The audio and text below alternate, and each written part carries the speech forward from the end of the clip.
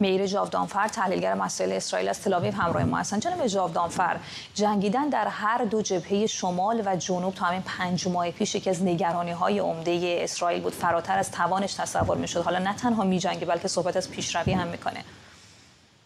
بله به خصوص در مورد جنگ با حزب الله ما الان می‌بینیم که تلفات حزب الله اگر اشتباه نکنم حداقل 240 نفر بوده.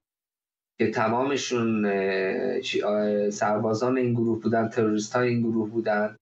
و حزب الله ببخشید لزومی نداشت وارد این جنگ بشه. حزب این جنگ رو شروع کرد روز بعد از حمله به اسرائیل. حمله حماس به اسرائیل در هفتم اکتبر. الان در مسئله حماس ببینید مثلا می‌خوام. حماس می‌دونست که با همچین حمله ای به اسرائیل در روز هفتم اکتبر واکنش اسرائیل چنین خواهد برای حماس مهم نیستش مردم کشته بشن. برای حماس این مهم این هستش که در قدرت بمونه و حملات اسرائیل رو از اون استفاده بکنه برای تولید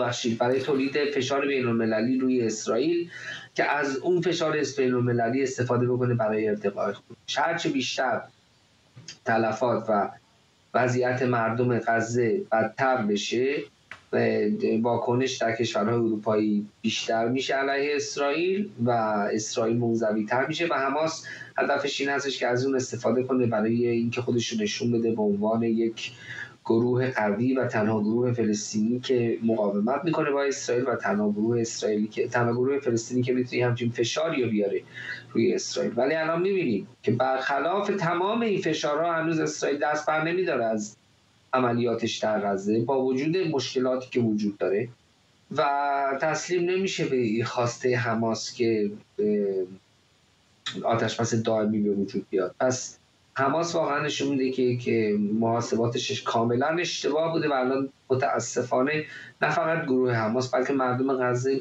قیمت رو می‌پردازن. حالا جدا از مردم غزه در خصوص حزب الله در اوایل لفاظی های رهبر حزب الله لبنان. به طور مشخص بسیار لفاظی های تندی بود. فکر نمی کنید حداقل در بازه زمانی فعلی به نوعی یک خیشتنداری از طرف حزب الله رو ما شاهد هستیم در مقابل حملات اسرائیل؟ اونا دارن سعی می‌کنن که ببینید حزب الله الان در یک چالش بسیار بزرگی قرار گرفت. از یه طرف می‌دونه که نمی‌خواد وارد جنگ با اسرائیل بشه. از یه طرف نمی‌خواد که به قول معروف کم بیاره که نشون بده که بله ما به باشه دیگه نمی‌خوایم بجنگیم. چون اگر کوتاهی الان نشون بده یا اینکه خیشتنداری الان نشون بده زیاد از هر شاید در اسرائیل ممانه که علامت تضعیف ضعیف بودن ترجمه بشه. این خیشتنداری فعلی رو زیاده از حد شما تفسیر نمی‌کنین؟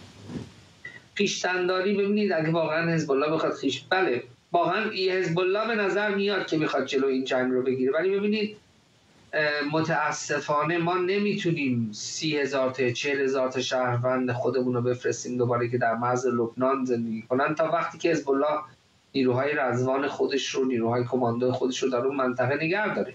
و حزب الله با وجود داره هنوز حاضر نیستش که نیروها رو از مرز دور بکنه. پس تا وقتی که این مسئله وجود داره این متاسفانه این تنش ها در, در شمال مرز اسرائیل و لبنان ادامه خواهد یافت. اسرائیل هم جنگ نمی‌خواد با لبنان. ما دنبال این جنگ نبودیم.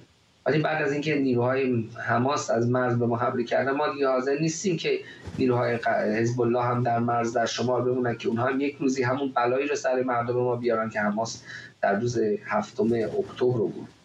متشکرم از شما. میر جاودانفر تحلیلگر مسائل اسرائیل از